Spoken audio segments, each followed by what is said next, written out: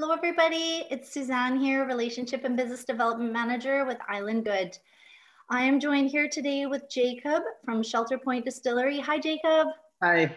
Hey, it's awesome to have you with us today. And uh, we are so excited to hear your story and, and how you got started with Shelter Point Distillery. Absolutely. Thank you for having me, first of all. Um, glad to be a part of this. Uh, I have a kind of a, a, unique story about how I showed up at Shelter Point.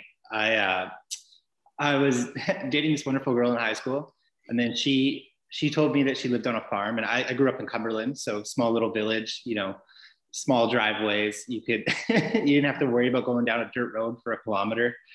Uh, so I, I come out here, and this is giant farm, and she didn't really she didn't really mention that to me. Like she said, it was a small farm. Uh, it's 400 acres, which is fairly large for the island. And um, as we're walking around on like the first time I ever came out here, we came across this brand new building. And I said, "Oh, what's that?" And it's like, "Oh, my dad, my dad just built a, a whiskey distillery." Uh, I was like, "Oh, cool." never, I've never seen detail. one of those. Yeah. Yeah. And uh, that was back in 2011, and I have just never left. I just stayed Aww. on the farm, and uh, I slowly, you know, worked my way through. Patrick, the owner of Shelter Point, put me through the grind. So I was running our old commercial raspberry farm um, which was a, a, side project to the distillery. And then I was kind of doing the warehouse stuff. And then I did the sales for a bit and sort of just worked my way through all, all of the, uh, let's call them dirty jobs on the farm to the point where I now get to sit behind a desk and just fill out paperwork all day.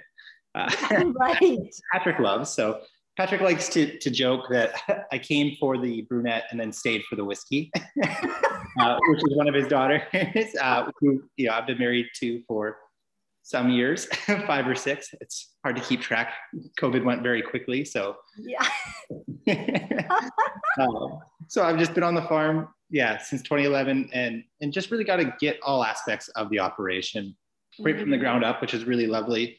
Uh, so I'm out there helping plant the fields, uh, do all the harvesting, and then I actually get to put the spirit in the barrel. So it's like, oh, I've been a part of every aspect of the operation right from the ground up. So I put the barley in the ground, I took it out of the ground, I gave it to the distillers, and then I put it into the barrel, and then I dumped the barrel out five years later when it became whiskey. So it's a it's a really unique kind of cool opportunity that I'm so grateful to be a part of. And then just being on the island, it's such a wonderful community. Everyone's supporting local amazingly here, and uh, yeah, we're just very happy to be a part of it. Yo, that's awesome, Jacob. What a great love story. Like, I didn't know where we were going down that road. And like your father in law, he put you through the whole gamut of things. And yeah, he was like, okay, he's given you the keys to the distillery. So what a what a wonderful, what a wonderful experience and, and journey. Um, that is so cool. And yeah, I, I agree. This last year, it's like seven, eight years. Like, what year are we in? I don't know. What year? The 18th month of 2020. yeah. Totally. Yeah. yeah. Well, Jacob, what do you love about being part of Island Good?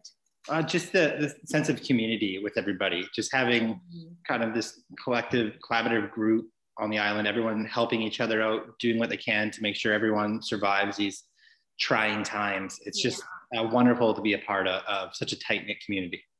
Oh, and we love you being part of it. And we love all the collaborations and just, you know, learning more about how we can work more cohesively together. And, and that really has been um, the underlying message from all of the businesses is that, you know, it's like a family, like we've all found each other in this community of Vancouver Island. It's, it's broken down a lot of barriers. So that's, yeah, we, we share the same vibe. That's super cool.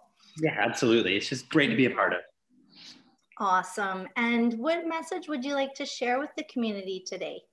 I just, I think on my behalf and the behalf of Shelter Point, just kind of thank you for, you know, helping us through these, these times uh, of kind of trying needs and, and you know, mm. time when it's not been easy for businesses to, to prosper and the community's really stepped up and helped out everybody, I think. And I just want to say thank you. Yeah. Oh, well, thank you, Jacob. And, you know, we talked a little before about tourism and how that's been a really hard hit sector. And we know that we're going to bounce back and our recovery is going to be stronger, you know, with the connections of Island Goods. So we're so excited to rebuild with you and just continue the really deep connection. So thank you so much for spending this time with us today, Jacob. Perfect. Thank you for having me. Okay. Take care. We'll see you soon. See ya. Cheers.